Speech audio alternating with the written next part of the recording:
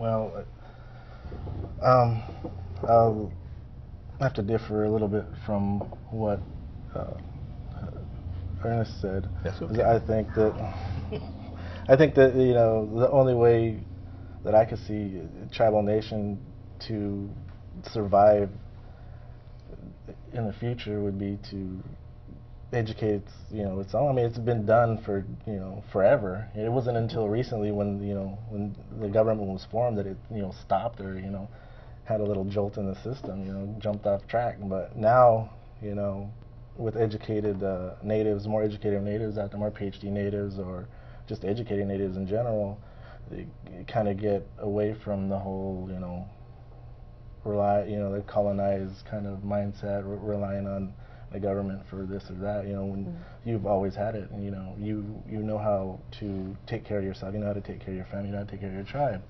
Why not take advantage of it?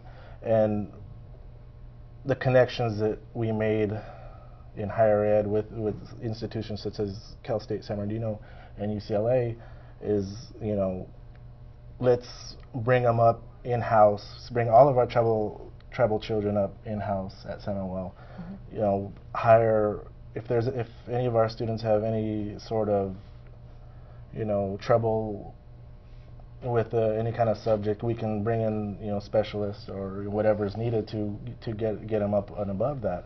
But the bottom line is they'll be taught you know with you know the Serrano Serranoized education, you know, or uh, San Manuel based uh, curriculum from you know pre-K through uh, high school, you know, 12th mm-hmm. grade or something, you know. And all, why can't you teach them both? Why can't you have them excel, you know, in the normal, you know, so-called uh, academic reality with uh, all the, you know, tradition, traditional cultural, you know, language values of, of the past. You know, why can't they? There's, I don't see any reason why that can't work and and it was right. you know my whole intention is to to uh, start the make the connection with with UCLA and start up the TLCEE program.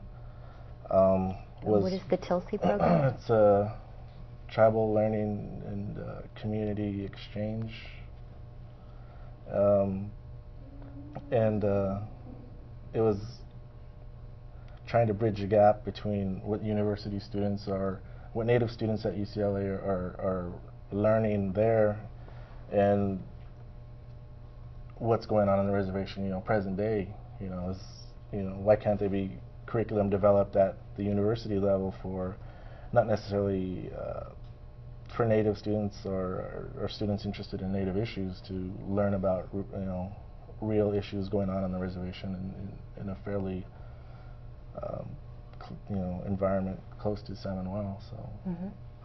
Build, you know, build students from both ends at the university that are there, and build students from the in, inside inside the reservation. Certainly, I think that's. Uh, I, I, agree that I think that's a good uh, goal. You know, uh, the the trouble is to have a, a, a rigorous um, system that that isn't doesn't allow for um, excellence. You know, uh, you have to strive for excellence, and that's that's where the uh, you need the finest teachers and so on, and the curricula also.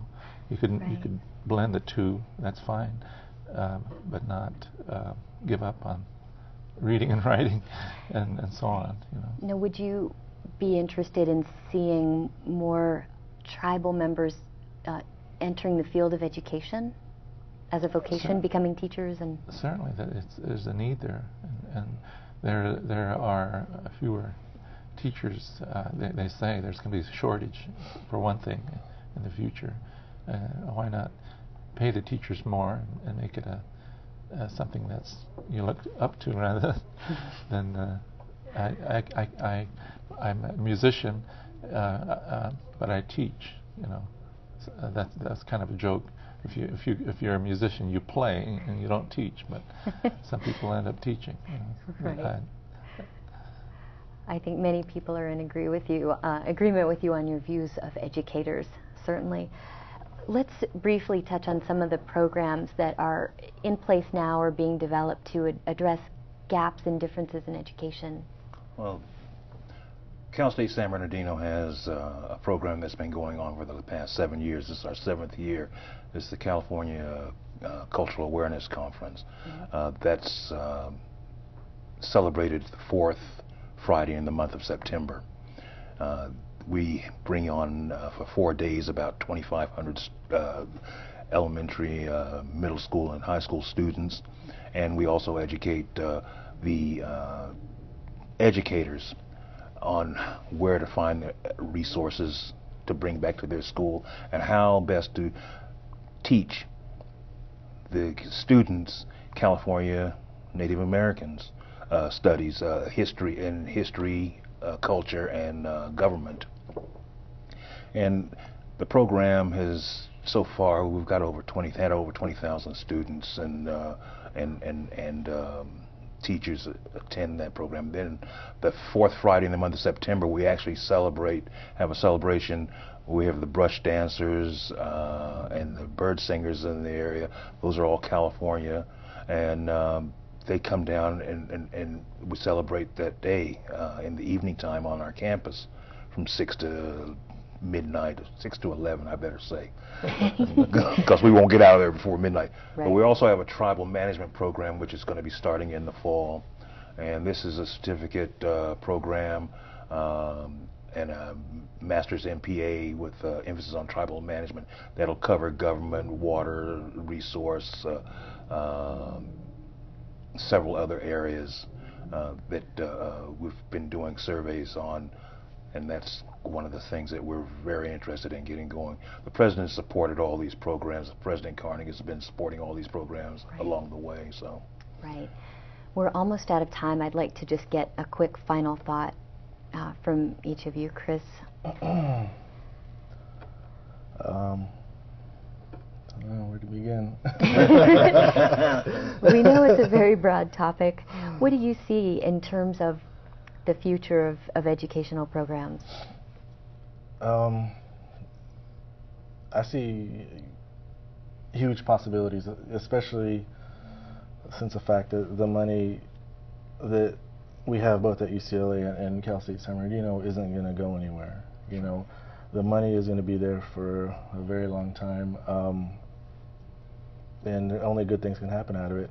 I know that at UCLA, you know, like John was talking about, you know, putting together, you know, curriculum and stuff like that. That's what they're doing at UCLA, actually creating classes from the, they already have classes on the books from, to start teaching students and start bringing students out to San for, uh, you know, uh, college credit, you know, and uh, it's a good thing, you know, and, and they're more than willing to design a class either at a UC level or at a at a level that's best suits San Manuel or, or or any other tribe that that uh, you know could be a management, you know, finance, anything, you know, whatever. I know that since the money's there, the UC, UCLA is more than willing to uh, assist in any in any way. And to possible. partner with Oh, you. Yeah, definitely, definitely. Great. That's what it's all about, a partnership. You know. Thank you. Uh, Siva? well, um, my um, emphasis and and uh, looking forward is uh, has, has come to uh, form actually a nonprofit organization that um, shares and preserves and teaches. That's those are our goals.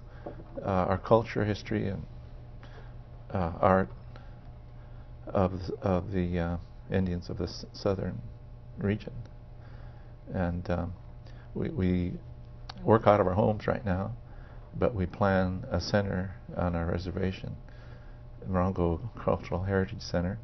Plan to have a regional museum, um, and um, I uh, have been teaching a language, so uh, that is my input, and what I know of our tradi- traditional culture uh, is part of that. Uh, but we support all others doing similar things. And in that roundabout way, we're helping um, education as a whole. Um, we need a lot of players. Great. Uh, well, we want to thank uh, the uh, San Manuel Band of Mission Indians for everything that they've done uh, in partnering with our campus. Uh, we also want to uh, thank the tribes in not only Southern California but throughout the state of California who've participated in our programs. Uh, we're we're just we just want to continue the partnership uh, and be there where we're supposed to be. Be there for the tribes. Be there for the community. And that's that's our that's the campus's goal. The student union, the Santos Manuel Student Union, and the Cross Cultural Center. We're always uh, open to new ideas, suggestions, and uh, our campus as a whole is always there to uh, assist.